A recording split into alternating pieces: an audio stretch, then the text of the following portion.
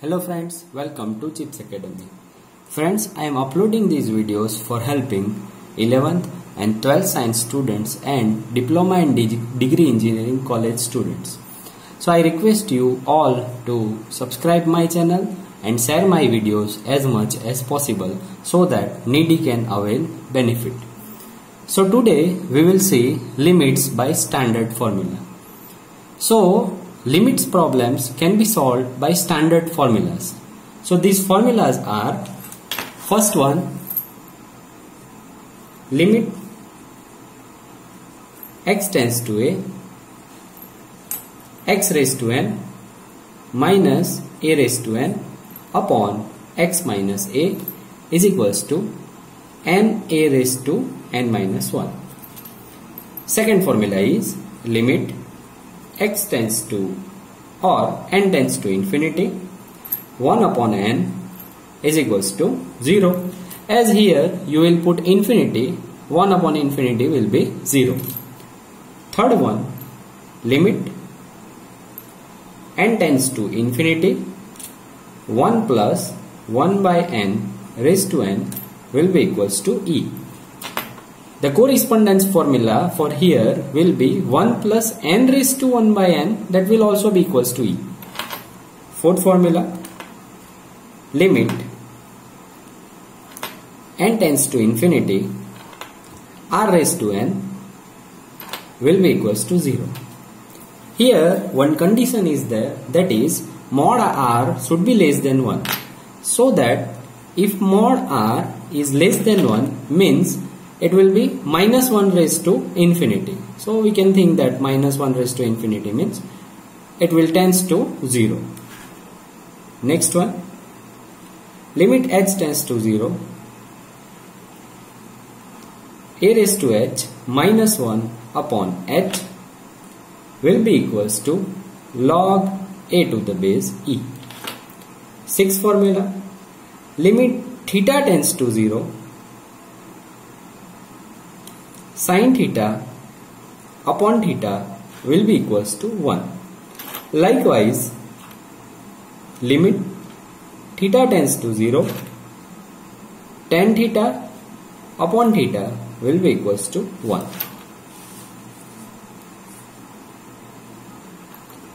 Next formula is limit x tends to 0 sine inverse x by x will be equals to 1. Next formula is limit x tends to 0 tan inverse x by x will also be equals to 1. So these are some formulas we can solve the problems of limit.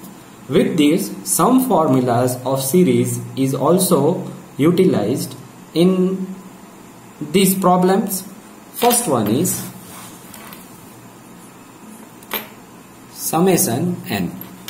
So summation n means if phi is there means up to phi whatever numbers are coming 1, 2, 3, 4, 5 the summation of that phi numbers right. So summation n will be equals to n n plus 1 by 2. Second formula is for summation n square. So summation n square means 1 square plus 2 square plus 3 square. Likewise, so summation of these square will be equals to n n plus 1 to n plus 1 by 6. Next one is summation of n cube. So this will be 1 cube plus 2 cube plus 3 cube. Likewise, this will be equals to n square n plus 1 whole square by 4. So these are some formulas. By means of these formulas, we can solve the problems of limit. So friends, here are two problems. These problems can be solved with the help of standard formulas and by means of standard formulas, we can solve the problems of limit. So first one first problem if I will see here this is x cube minus 3 cube and here it is third root or cube root of x and cube root of 3. So by seeing here it should be click in your mind that this is the formula for x raised to n minus a raised to n upon x minus a. But in the denominator for this x cube minus 3 cube I am not having x minus 3 and for this I am not having x minus 3 in the numerator. So we need to multiply this term by x x minus 3 and in the denominator also x minus 3. So this problem can be solved like this way. This will be limit x tends to 3 x cube minus 3 cube upon x raised to 1 by 3 minus 3 raised to 1 by 3. As I have said you, we need to multiply with x minus 3 and as we have multiplied, we need to divide also. So this will be limit x tends to 3 x cube minus 3 cube upon x minus 3 into 1 upon limit x tends to 3 x raised to 1 by 3 minus 3 raised to 1 by 3 so whatever this term is there that is in the numerator if we want to bring it in the denominator it will go denominator's denominator. So it will be x minus 3 so now I can apply the formula for x raised to n minus a raised to n upon x minus a that is n a raised to n minus 1 what is the value of n over here? That is 3. And what is the value of a over here? That is also 3. So, we are knowing the formula that is x limit x tends to a x raised to n minus a raised to n upon x minus a will be equals to n a raised to n minus 1. So, this is n. So, 3, 3, n minus 1 means 3 minus 1. Okay friends? Here it will be. N is 1 by 3 and a is 3. So n a raised to n minus 1 means 1 by 3 a means 3 raised to 1 by 3 minus 1. So this will be equals to 3 3 square. And this is denominator's denominator that will come into the numerator. So it will be 3 1 upon 3 raised to 1 by 3 minus 1 here cross multiplication will be there 1 minus 3 by 3 that will be minus 2 by 3 so here it will be 9 3s are 27 3s are 81 81 into 3 raised to plus 2 by 3 so this will be your answer.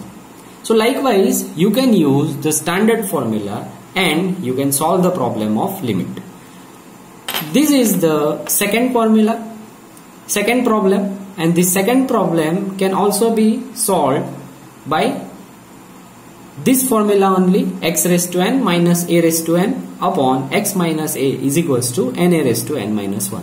So we will start. So this will be limit x tends to a. This cube root of x that I can write like this way x raised to 1 by 3 minus this is cube root of a that I can write as x raised to 1 by 3. This is fifth root of x that I can write as 1 by 5 minus a raised to 1 by 5. If I am remembering the formula that is limit x tends to a x raised to n minus a raised to n upon x minus a is equals to n a raised to n minus 1. So what is the value of n over here? That is 1 by 3. So, if I am saying for uh, this x minus a should be there in the denominator. But here it is not there, right? So, what we need to do? We can multiply and divide the term by x minus a.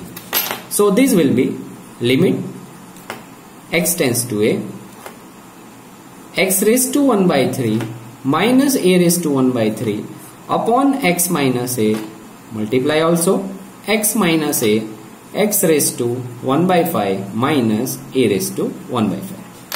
So this will become limit x tends to a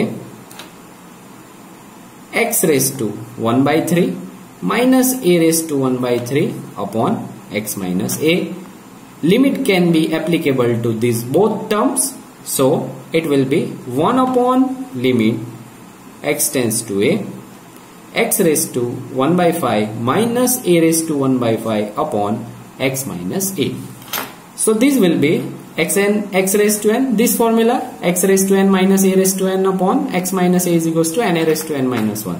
So this will be n is 1 by 3 over here and a is a itself over here. So 1 by 3 a is a itself so 1 by 3 n minus 1 so 1 by 3 minus 1 into 1 upon 1 by 5 here also a itself is a over here and a raised to n minus 1 so this will be 1 by 3 a raised to 1 by 3 minus 1 that is cross multiplication. So 1 minus 3 by 3 that is minus 2 by 3 and here it will be 1 over 1 by 5 a raised to 1 minus 5 by 5 that is minus 4 by 5 so now if I will bring this uh, denominator's denominator it will become numerator that will be 5 by 3 and this term is a raised to minus 2 by 3 and this a raised to minus 4 by 5 if it will come in the numerator it will become plus 4 by 5 right? So this will be 5 by 3 a raised to now power can be added up. So 4 by 5 minus 2 by 3 actually it should be plus but plus minus minus will be there right? So now here uh, I need to take LCM that will be 15